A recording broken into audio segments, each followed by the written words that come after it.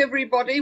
Lovely to have um, all of you join us, and particularly wonderful to have Kitty joining us all the way from Sierra Leone.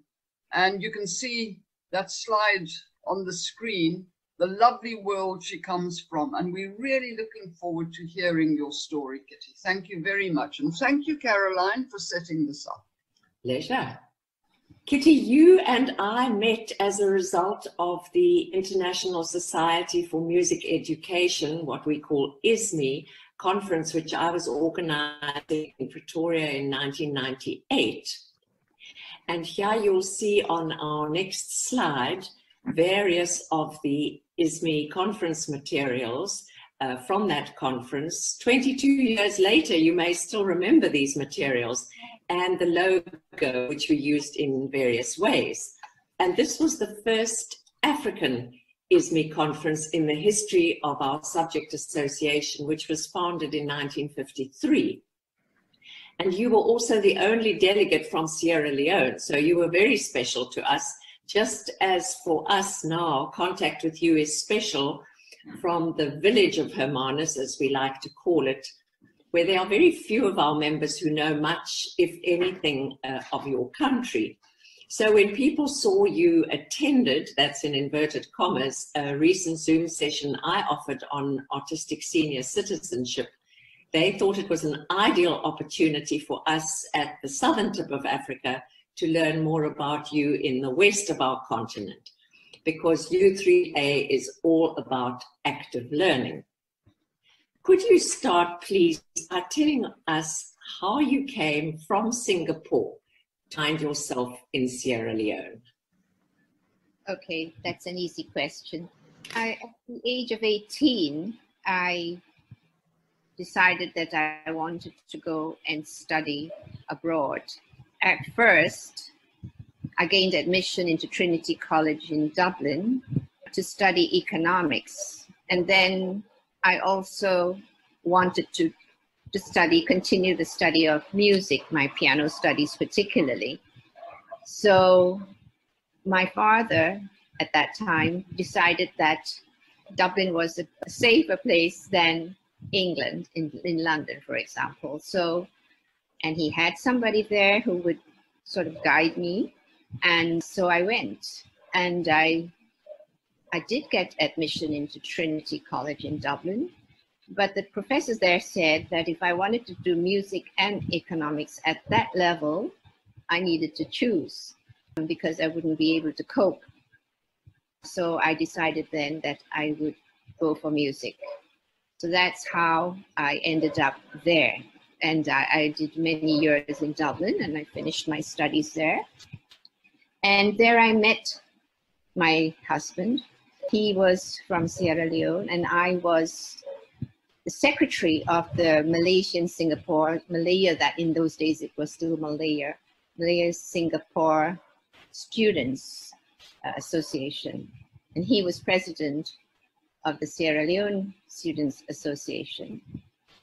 There was a, a group in Ireland called Le Chéile, which means friendship and there, these were Irish people who were beautiful, loving people, and they particularly wanted to look after foreign students because we were all far from home and they wanted to show their friendship and love love by organizing activities so that we could get together and get to know the Irish people and get to know ourselves. So they had a meeting with the president of Ireland. Uh, that's always on the calendar, where he invites the top executive of these various students organizations, and that was at his official residence, Aras Anukara. So we met there, my husband and I. That was just like a casual meeting.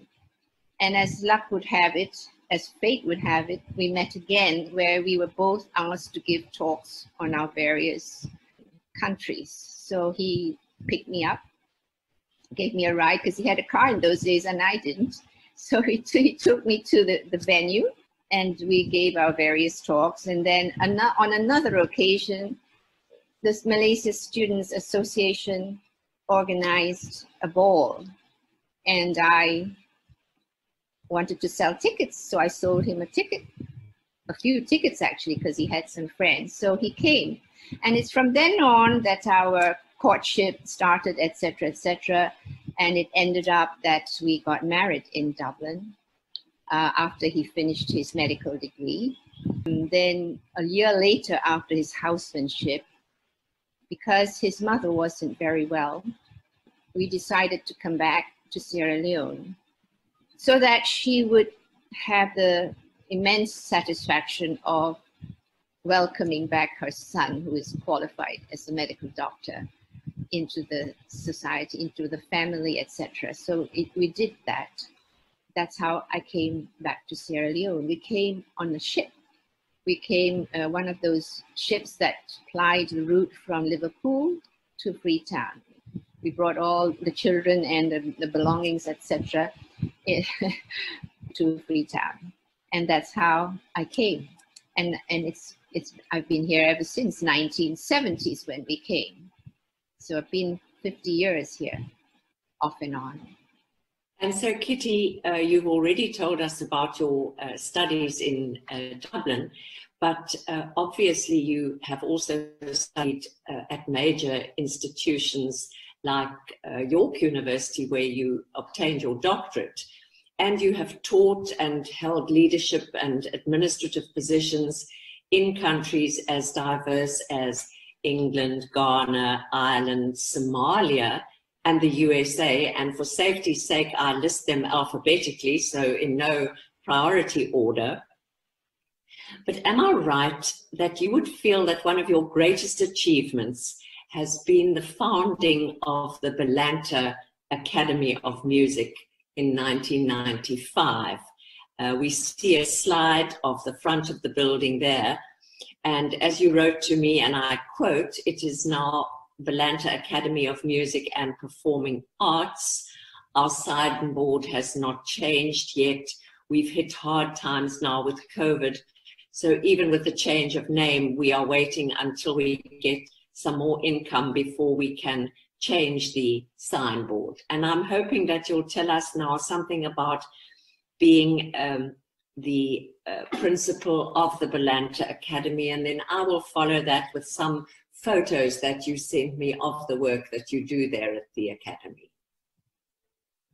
Yes. Um, yes, the Academy looks just the same as you see it on the on the screen right now. Uh, this is rented from the Freetown City Council. It's a rented premises, and they've given it to us at a very, very affordable rent for us. So it's their contribution to our work. The school offers many different instrumental studies like piano, organ, keyboard, guitar, saxophone, all the brass instruments, the, the drum kit and African instruments, as well as dance. We now offer dance as well. We have very incredible dance teachers right now so the students come in like they they, they register for a, like a private lesson so to speak on a one-to-one basis and then they come again for theory lessons in a group and so we charge very very minimal fees because if we didn't nobody would come. So because the average income is very low and we don't want to cater to the elite. We want to make sure that people come into us because they want to study and not and and we also look for scholarships for those who are talented but cannot afford the fees. So that's how we operate. And right now we have a staff of five teachers in, in various subjects. And we have just an admin, admin staff of two right now. We we don't have a finance officer right now because we we we're looking for one. Now to augment our income, this this uh, lower ground floor where you see the two blue doors, we have rented it to cafe to make it into a cafe to, to a lady called Memuna Jane, and she's going to renovate and make it into a cafe. And behind the building, which you can't see right now from this picture, there's a space, quite a big space. Um, it used to be just a garage, but we we roofed it, and we used to have what we call buffer. Buffer is like a little hut. We call it Ballanta Buffer. That means every last Friday of the month we would hold events there like an open mic thing, and we would showcase our own students there as well, and others who, who would want to come and perform. And that we are now making it a little bit more formal looking, i.e., we created more wall, a higher wall and some toilets there so that we can actually make it into a little mini auditorium as a performing space. That's the construction is ongoing right now. So those are two income bringing structures so because we struggle, we really struggle for income. We're supposed to get a government subvention, which is very little, and it's supposed to come to us every quarter. But in actual practice, maybe we get one quarter or two if we're lucky. And that's the main source. And we also get a grant from it's a betting business, and they give us a small grant. And apart from that, we try to raise funds with, with performances. We have a, a musical band, a band called Groovy Colors, and it's an electronic band mainly. And it plays um, popular music, African music, reggae, and they're into their own compositions now. We also have a, a brass ensemble called Five Star Brass, and they're quite good. We also have uh, junior versions of those two. The students who are learning those instruments have their own group. And we have a choir called the Ballanta Music Makers, which right now is not functioning because of COVID. So those are the three main groups that we have in operating that when they perform or are hired, bring in a little income because we have to keep some of the, the income for us and some to them. So it's, it's not a lot of money. And apart from fees, that's about how we get our income. Sure, but you uh, wrote to me that when you sent this group to the ISME conference, I referred to ISME earlier, uh, it was the ISME conference in Kuala Lumpur in 2006. You said this was a major achievement for us. And You've spoken about the fact that you also have dance, and clearly this was a group performing African slash traditional Sierra Leonean music and dance. And I imagine that that is what you would get your most uh, hard won funding and credit for. And you would know, as I do, that it is what the rest of the world is looking for from us in Africa. And yet, these photos that you sent me, these following three slides, respectively of a music theory lesson in your main teaching room, of you yourself teaching the piano, and then of your German volunteer, Stephen Floor, playing his horn. All of these uh, videos relate to the teaching of Western music as we in South Africa are all very well accustomed to. In this video that you sent me, we also experience some non-African traditional music. thank you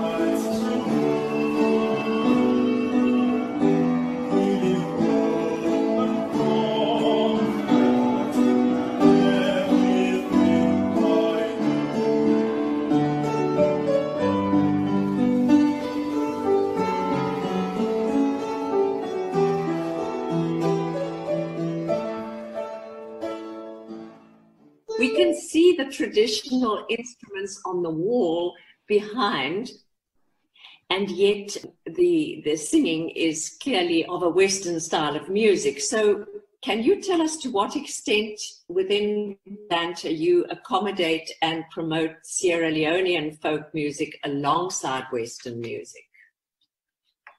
Yes, personally, I would really like to see a lot more of African music, Sierra Leonean music in the academy.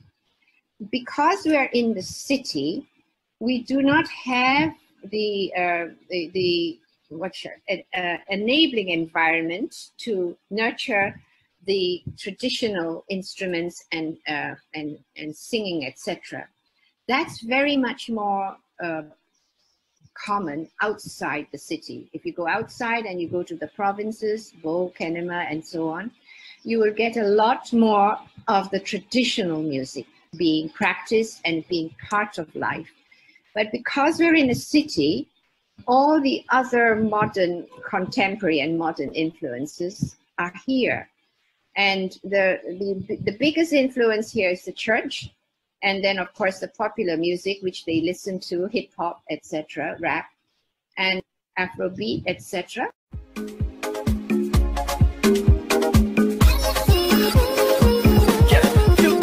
Oh, my sexy, sexy lady. Come on, dance it, dance it for me, oh. For sick, me, I know they care. No matter what, me, I know they fear.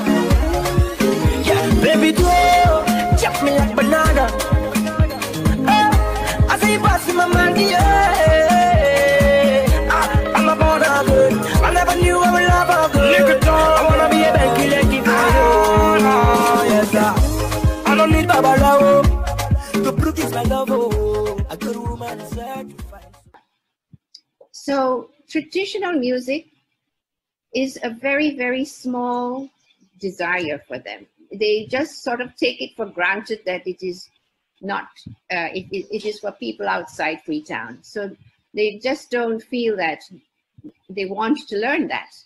And it's only foreigners and people who are, who particularly want to learn that, that come and asking for this kind of studies.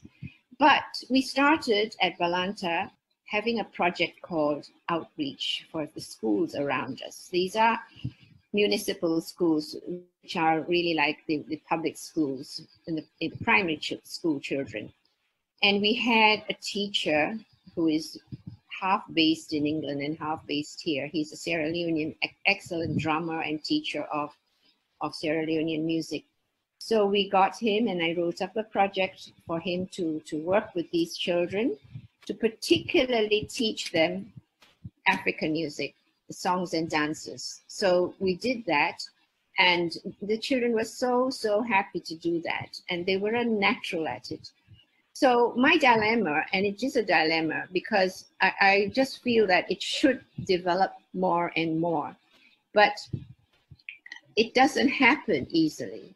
And recently we went to the uh, Minister of Education, Basic Education, and explained to him that we really need government to help. Because if the government uh, said that we should have this in all schools, that all the children must have classes in traditional music, then it would happen. And fortunately, we have a very listening uh, minister, and he has agreed to reintroduce what used to be called the Schools and Colleges Annual Festival of the Arts. This was a whole nationwide festival, and it was very success, successful in the, the years gone by, which and somehow it stopped it. And it, it meant that everybody had to do something traditional, sing, dance, tell stories, etc., do, do skits and so on with the, with the traditional elements in it. So if he does that, when he does that, this element will be very much stronger. And it is only with that input that this aspect of our music can really be revitalized and developed. Without that, it's not going to happen, e even in our academy, unless it's really a pro proper project to do, to do this. And it's a pity because I keep telling all my staff, your music is the most important thing. It's not Western music that's going to put you on the map. And look at how Sierra Leone used to be on the map years ago for a positive image. We used to have a very well known dance troupe that went all over the world. This was in the years when the, I remember the Duke of Edinburgh. He was a lot a young person at that time, and he used to say really complimentary things about this group. And it was very well known, and it, it put this, Sierra Leone on the map because of its culture. But nowadays, of course, Sierra Leone is known for other things which are not so positive, which is a shame. So we need to really work on that aspect of our music, Caroline. I am I, I, I will always say that to them that you need to, to, to, to work on this. And this is why my, on my own, I have written books, two books, uh, to, to just fill in this gap because I feel that nobody's doing it and it needs to be done because and and even with that um, only a few people realize its value here so uh, this is a, a problem uh, caroline and it, i wish it could be better to answer well, you will have a look at your books later but here are two uh, videos that you sent me from a website of yes. Uh, sierra leone heritage and i wonder if we could just look at a bit of each of them to give an idea to the people participating this morning.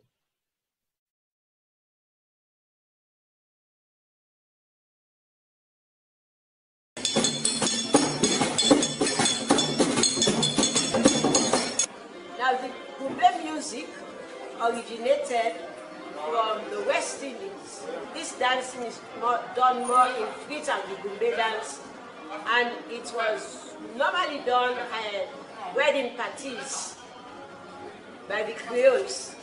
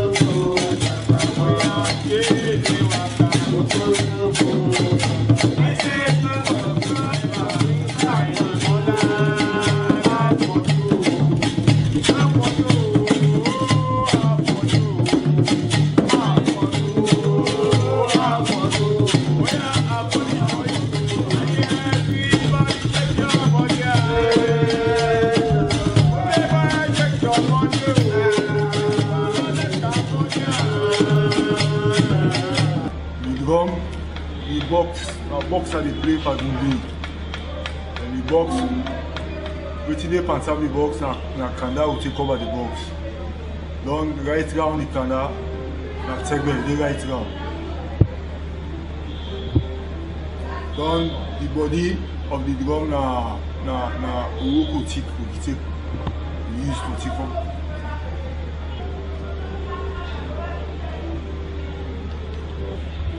This this drum we get, dem call am gombe drum, gombe drum. You go make it on a fokona, get kanda, get uh, wedge. Now the wedge is what they climb this drum with. You get uh, uh, bench where you will say one time. But they get some fine for make it on many culture of the guys in the plan. This na the seat. The seat where they sit on pa for be the drum. So I use this instrument what they call maracas. It's now one of the instruments where they back up the African Kumbi. So, I'm a solid man. And they back up the instruments. And you see, when women dance, they lift the, the tip of the skirt to show the petticoat at the bottom. Well, in Sierra Leone, we spell Gombe G-O-O-M-B-A-Y. In Nigeria, they spell it G-U-M-B-A-Y. Gumbe music, as I said, was, is, was played in wedding parties, not pop music. Although now pop music has taken over the gumbe, and those who were good gumbe players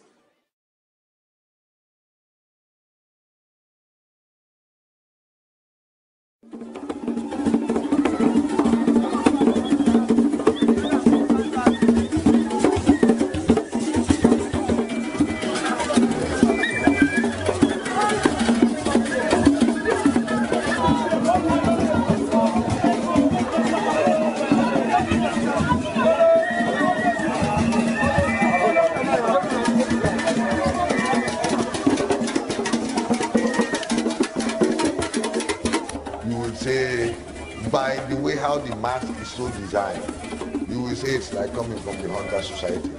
But the rest is e- everything about it is Sierra Leonean. The Ondele societies do not have um, more than a day, you know, to parade the streets of freedom, and they do not perform in an open space. And they normally come out on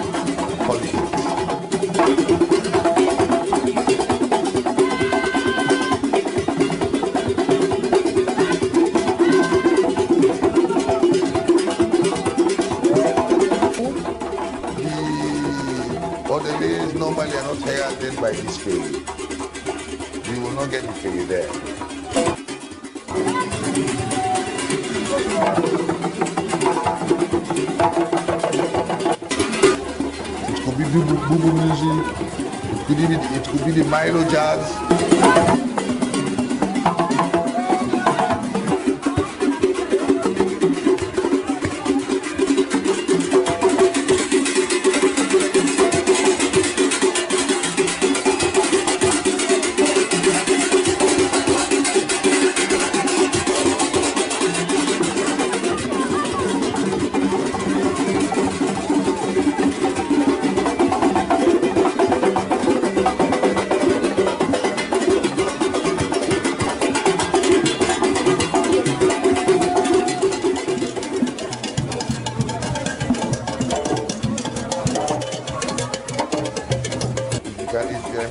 Bordello Society, you must be specifically invited to go into the meeting place of another Bordello Society.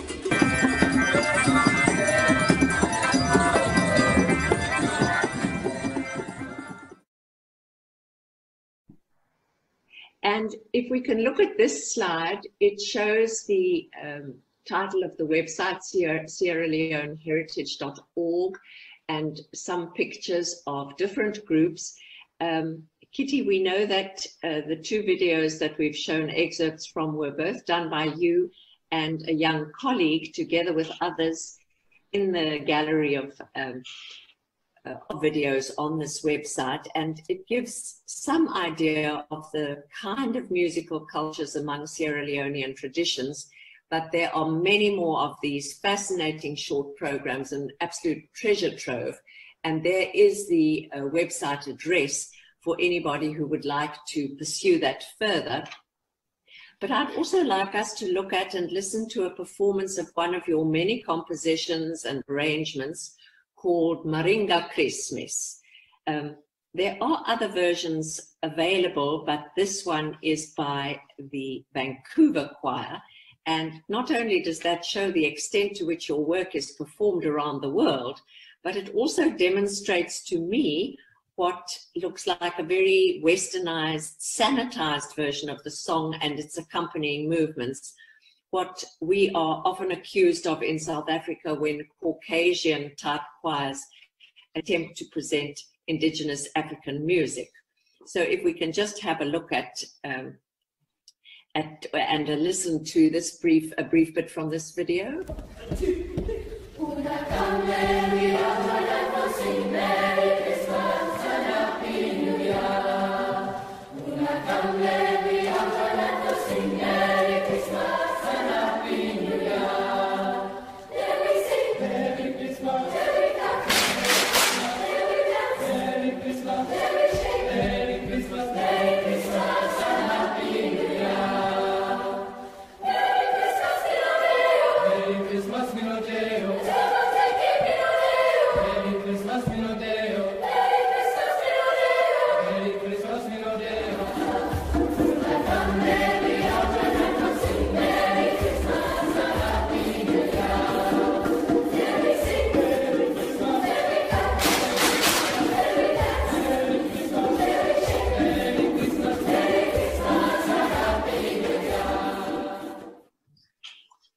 Thank you. I think a lot of people in South Africa will relate to that and also to this uh, photo, which you told me was of one of your main school bands about to play at the funeral of their bandmaster who passed away recently. And their instruments are draped in black as a sign of their mourning.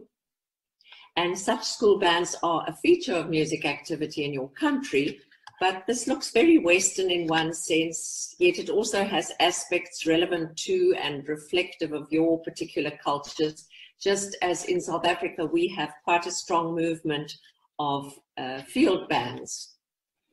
Uh, we can now look at a picture of you donating copies of each of your books to the Sierra Leone Library Board, to the chief librarian and his deputy.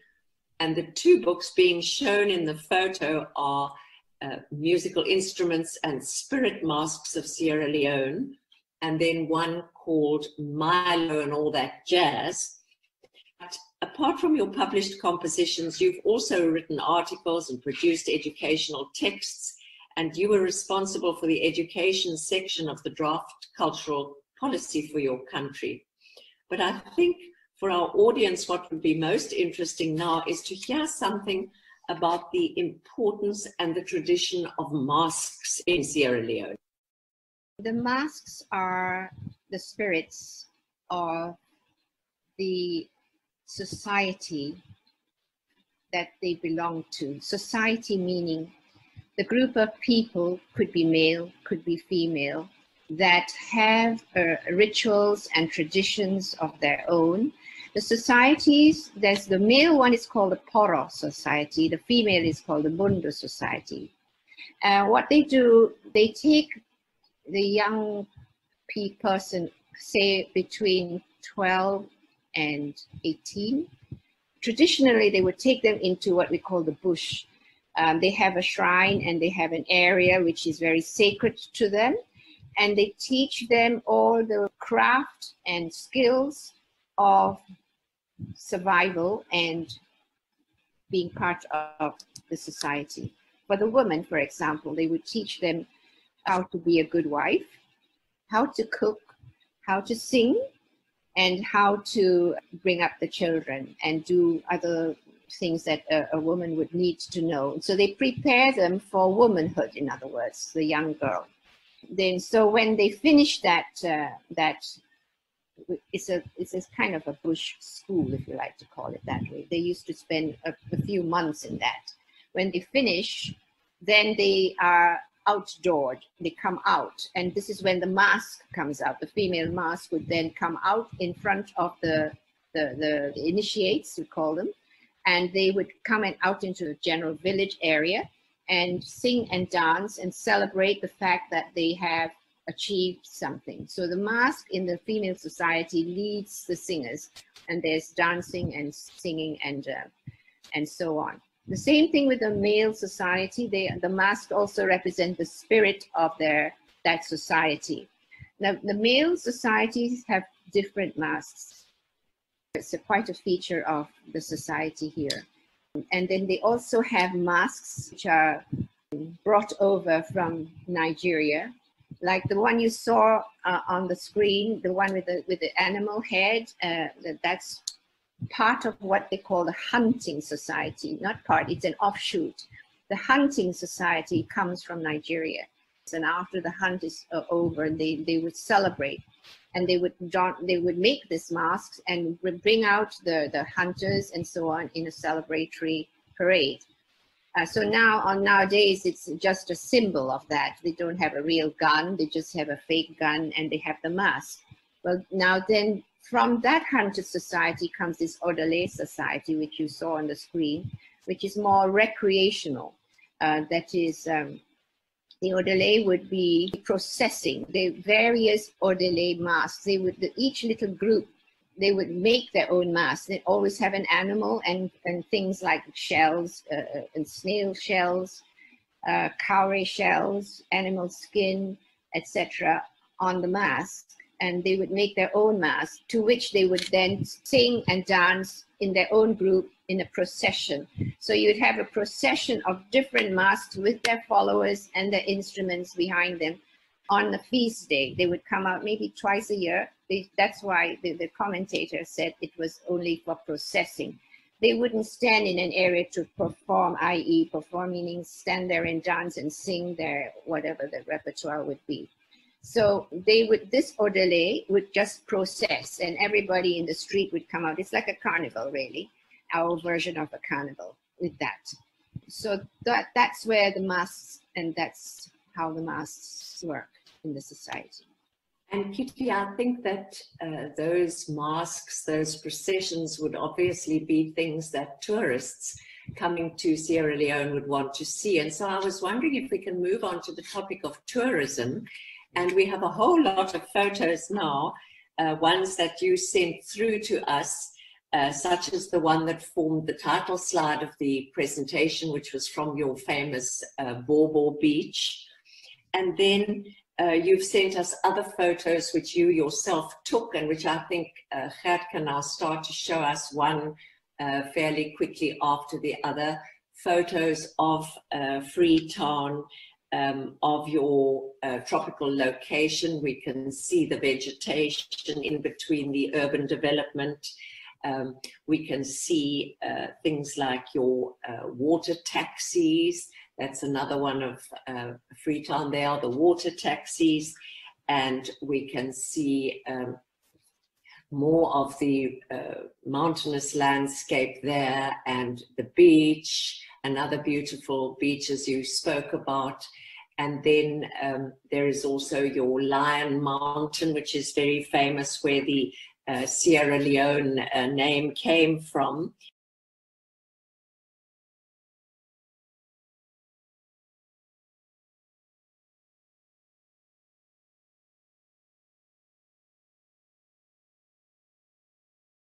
Some of these pictures Gert also found on the uh, internet from us. Some are photos that you took personally, like this one, where you said that there was the um, the red seaweed, which comes in at a certain time of the year, and and we have something similar here on our beaches, which we call kelp, and that's another lovely uh, photo. Before we move on to something of the uh, architecture, you can see the colonial style architecture uh, more of the architecture in the next slide, but this one uh, shows the cotton tree, the very large uh, cotton tree, which you told me is an icon of Freetown and more than 200 years old and standing in the middle of the city.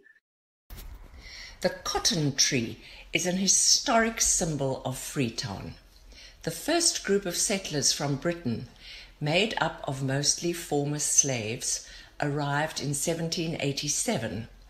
These black loyalist settlers, called Nova Scotians, founded Freetown on the 11th of March 1792. They landed on the shoreline and walked up to a giant tree and held a Thanksgiving service there, gathering around the tree in a large group and praying and singing hymns to thank God for their deliverance to a free land. They gave the capital the name it bears today, Freetown. Even today, Sierra Leoneans still pray and make offerings to their ancestors for peace and prosperity beneath the cotton tree. So we see the cotton tree there, and then we see another one of the uh, colonial buildings, very Western style building. And here we see the outside of one of your big markets where they sell all sorts of basketry and beads and fabrics and uh, everything targeted towards the tourist. But I gather that this picture is of the outside of your big market and two of the paintings of national heroes uh, are depicted. So I hope that you can tell us a little bit now about tourism in your country because that is one of the good news aspects. Yes. Uh, certainly. We have a beautiful country. It is really very beautiful naturally. The hills that you see are, are all part of Freetown. Freetown is built along the, on the hills. That's why our airport could not be here.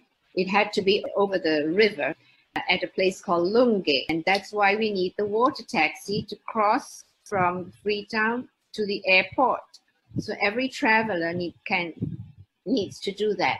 You can go overland now, but it would take you like a three and a half hour drive to get to the airport from Freetown. The hills are lovely, but they are difficult to access uh, for the traveler who comes to Freetown. So you need to always be prepared for that extra journey when you land at the airport.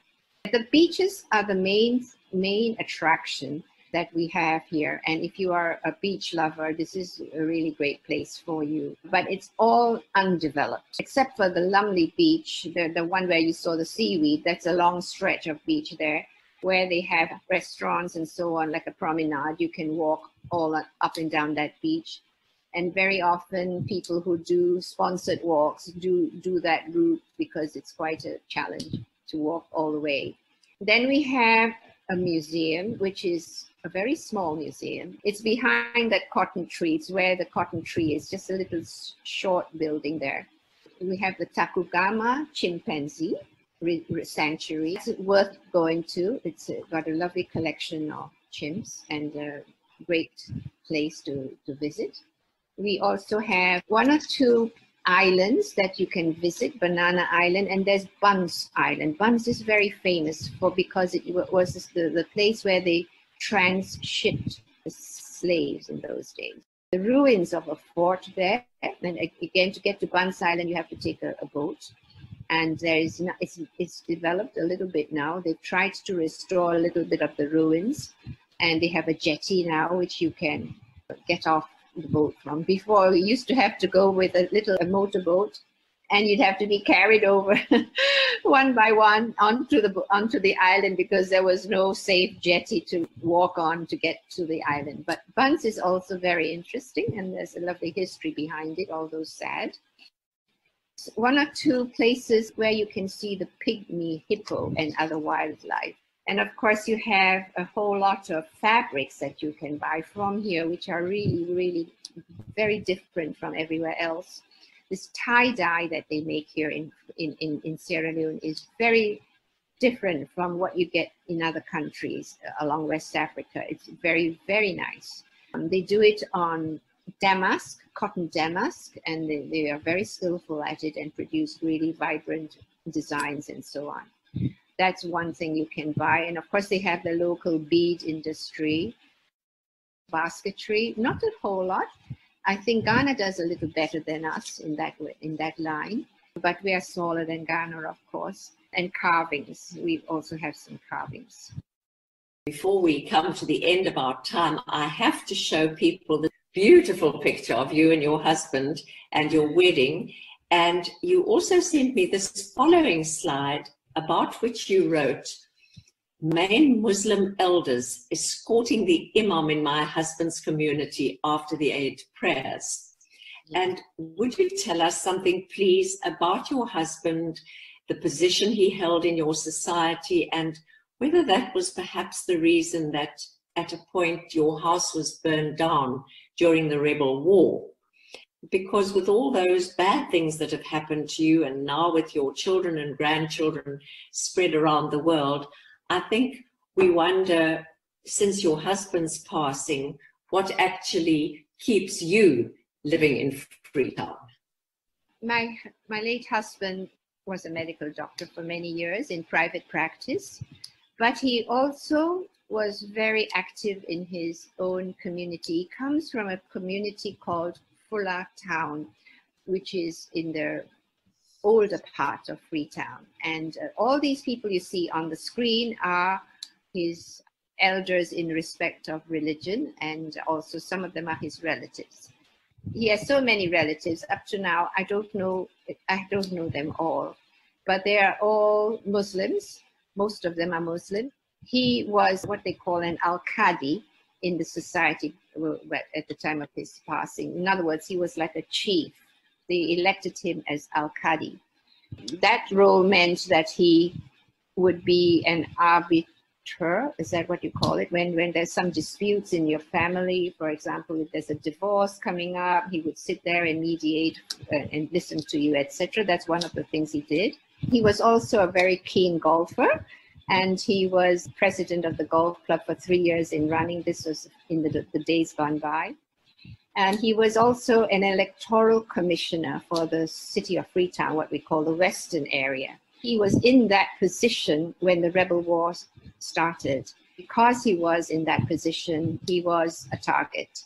So we had to leave the country. This is the house which we had before. This, we, I'm still in the same plot, but this is a different house. One of the rebel leaders entered the house and they stayed here. When the ECOWAS, ECOMOG, this is the West African military force that was helping Sierra Leone at that time, when they pushed the rebels out and uh, they all left the house, but we believe that they had stock, a stock of ammunition. They carried what they could with them, but they, what they couldn't carry, they torched. And so the house went up in flames, and there were neighbors said they heard explosions, etc. So the house was totally wrecked. We left the house in that state for a few years because we couldn't take it. It was a difficult thing to accept, but life has to carry on. My husband used to say, they can take everything we have, but we still have our lives and we carry on. So with the help of the children, we rebuilt the house into uh, two flats this time, and I'm in the top flat now. So, so that's what happened. But what keeps me here? First of all, I still, I, I find that I can still be of help to people who want to learn music. Uh, I still have students, but I'm hoping that that can be a less, a less and less, I see, duty obligation on my part. But I enjoy teaching. My husband left a few properties, and because my children are all away except for one, I still have to supervise those uh, properties. That's another reason. So, so those are the two big reasons. And I have one one of my children here and he needs a little help with, with his family. That's the third reason. So um, that's what keeps me here, Caroline. You brought up your family in Sierra Leone and became customs for your household as well. Yes, of course. You know, four children were brought up here until they reached the end of secondary school. I'm happy to know that they are well grounded in the culture here and the food, etc. Because it's, a, it's of, of the fact that it's a mixed marriage, they need to be grounded in one of our cultures so that they, they know that they have that at least as their background. Kitty, may I ask you, is the country mostly Christian or Muslim? Half and half. We, we have a great, great reputation for being religiously tolerant. The, both the religions, they intermingle very easily without any problem. And there are intermarriages between those very frequently. You would get a wedding where they would go to the mosque and they would go to the church. And they would then be blessed in both ways. And everybody then enjoys the festivities in both styles. So it's very, very tolerant. Yeah. You get a relative who is, the husband is Muslim and the wife is Christian. I know many, many couples like that. And uh, Kitty, what happens then uh, after that blessing by both religions in terms of the upbringing of the children? Is there more of a tradition that children should follow the religion of their mother or of their father, or uh, are children informed about both? How is that aspect handled? I think well maybe it's different from family to family. It depends. If it's if it's the mother that's really bringing up the children, then they will follow whatever the mother does. So right now, I know my my nephew is Muslim and his wife is Christian, um, and she takes them to church, the children to church on a Sunday. And when the festival, the feast days come, the Muslim feast days come, they all go to the mosque, wife and all. Thank you, Kitty, for all that you've so generously shared with us.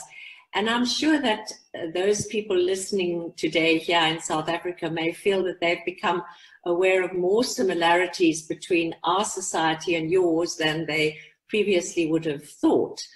And for anyone here locally who has visited our house in Onrus or would care to do so, I have a constant and wonderful reminder of Sierra Leone in this beautiful uh, batik on the damask cloth, as you referred to it, that you gave me as a little piece of folded material before we had it framed. And since then, we've had so much pleasure from it, and so have many of our guests. So thank you again for that.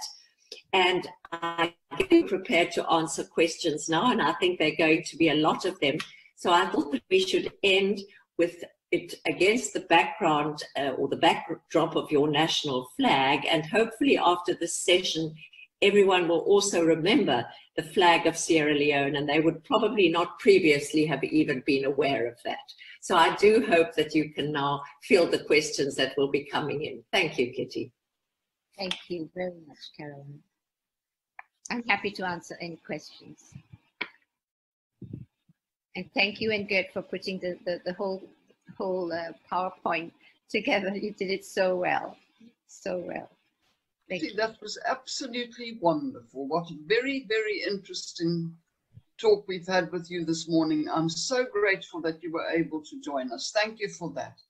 Thank I'll, you. That's all I'll say for the moment. I'm sure other people will want to ask you questions, but that was fascinating. Thank you very much. Thank you too. Kitty, may I ask you, your neighboring country, Liberia, had a female president in the person of Ellen Johnson Sirleaf. Has her presidency had any influence on the status of women in your country? Maybe it has. We now have a movement called 50 50. it was started by, again, another, another relative of ours, Dr. Nemata Majeks-Walker. It's a movement where they want equal representation, first of all, um, that the women should be just as good as the men. Whatever you want to do, 50 50 must work. So they, they are, that probably is an influence from the Liberian president, yes. That's going strong, actually. They, they've done very well. They've managed to get funding, they now have a building, and they have programs.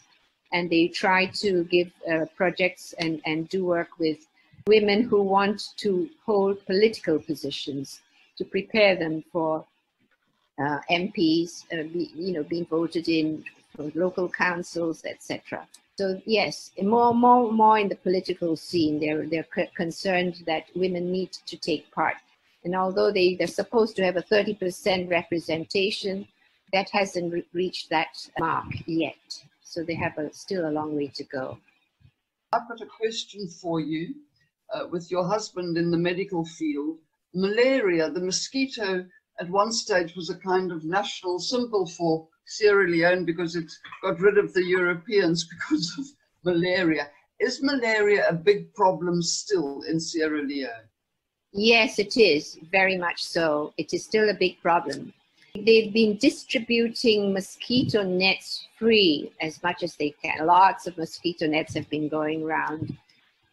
But they haven't done anything with regards spraying because I know in Singapore we used to do we, we always saw health inspectors and health officials coming to spray the compound and check whether you had a container with water stagnant water in it etc but here my husband used to say that they in his day they used to have people coming around to inspect just like in Singapore whether your you had containers stagnant water but except for the mosquito nets. And um, they also have drugs that they offer supposedly free to people in the hospitals who are under eight, under five, under five. I think they give them free drugs um, for malaria, etc. Yes, malaria is also still here. Thank I'm you. afraid. Hi, Kitty and Caroline. Thank you for an extremely interesting talk. It was wonderful. May I ask Gert if you could put that um, website up again for me? I didn't get it all down while it was up. But thank you again. It was extremely interesting. I thoroughly enjoyed it. Thank you.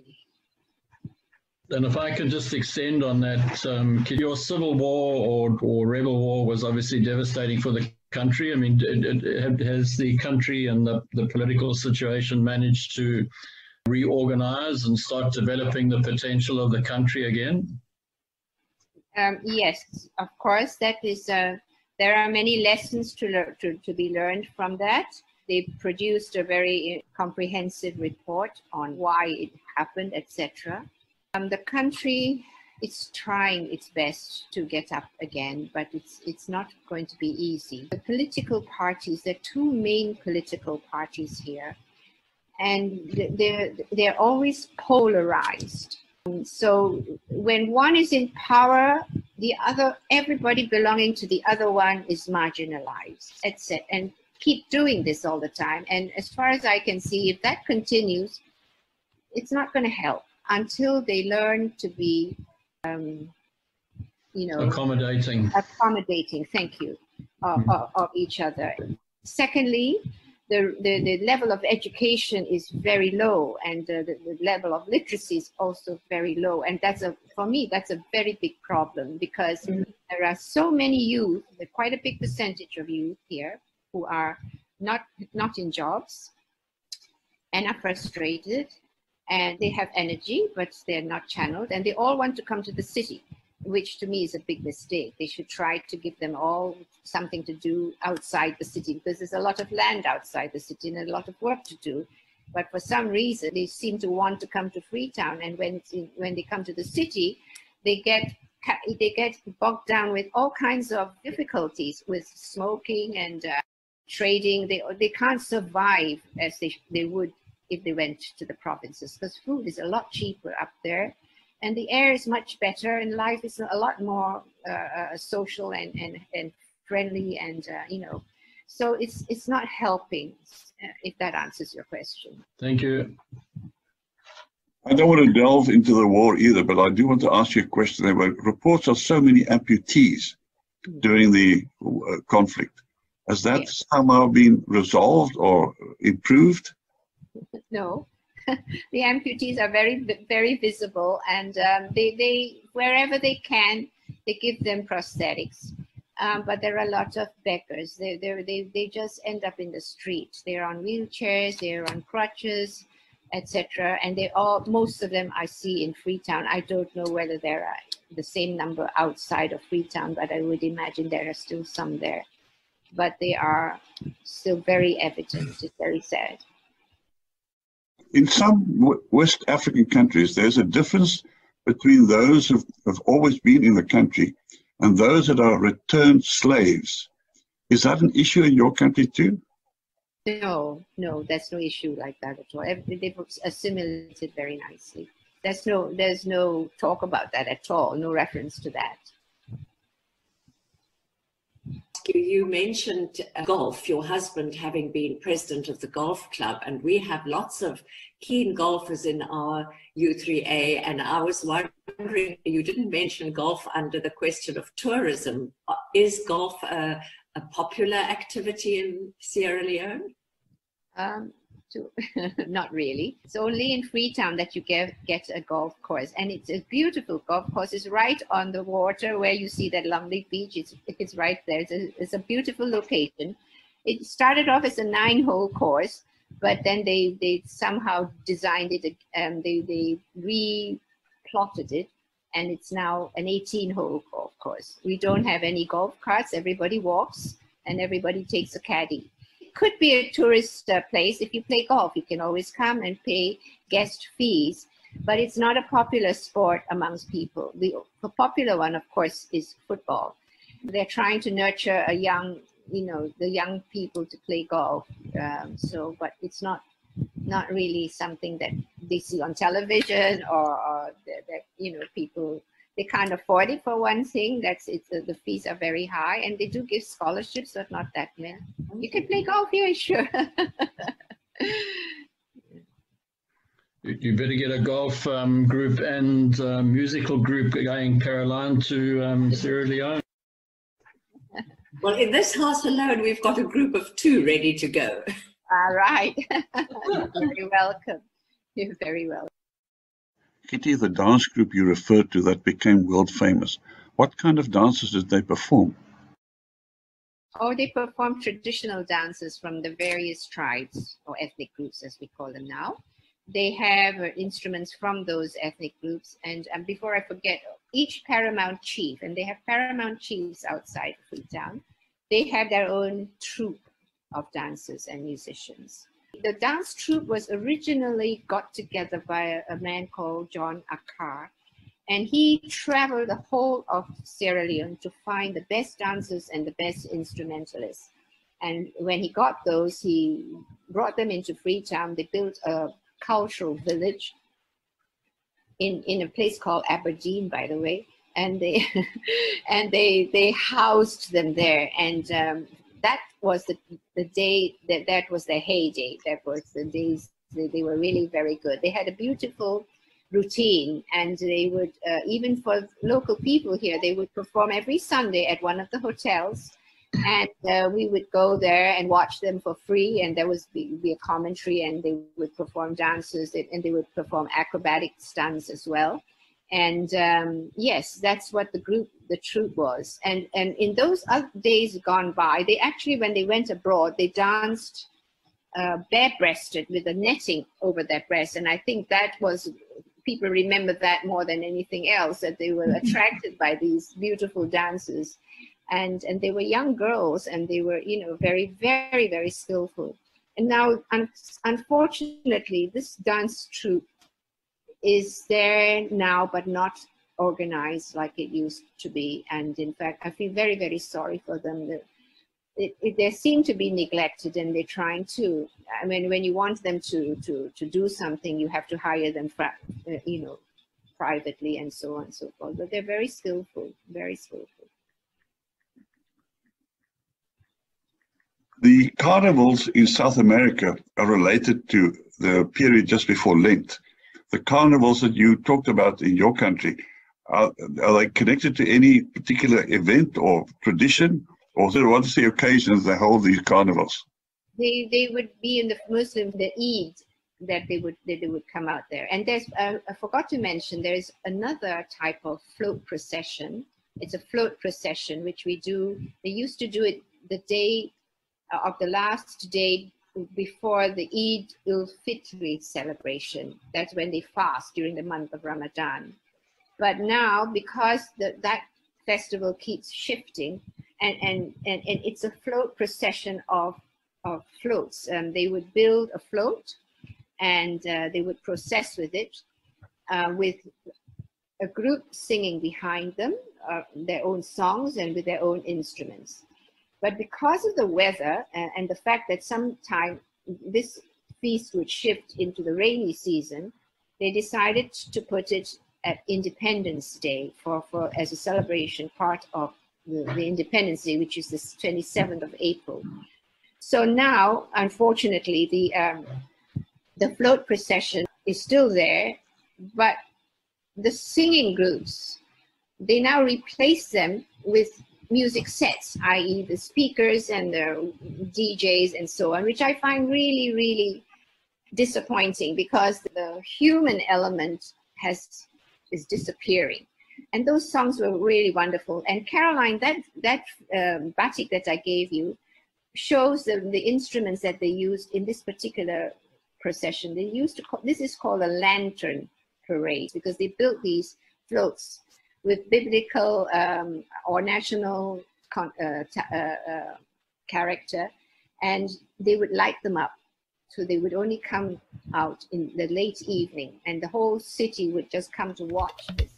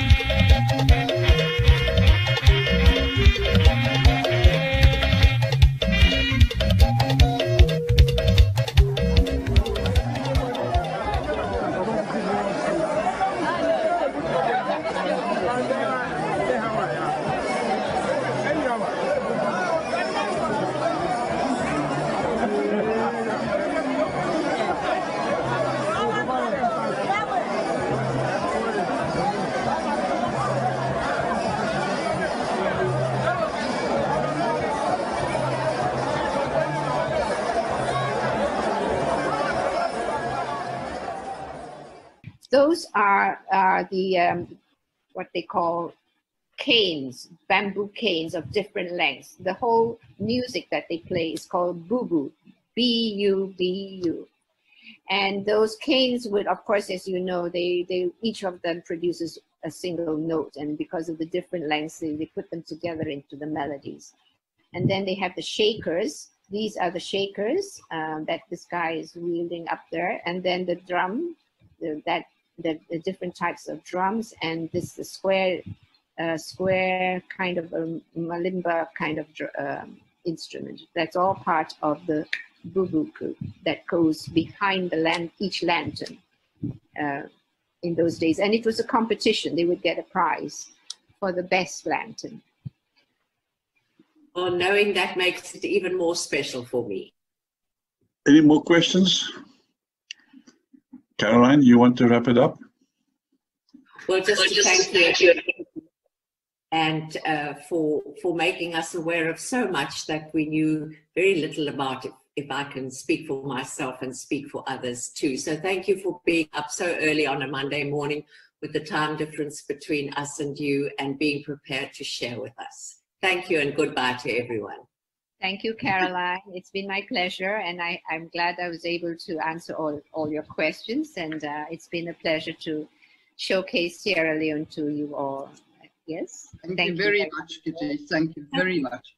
Fascinating.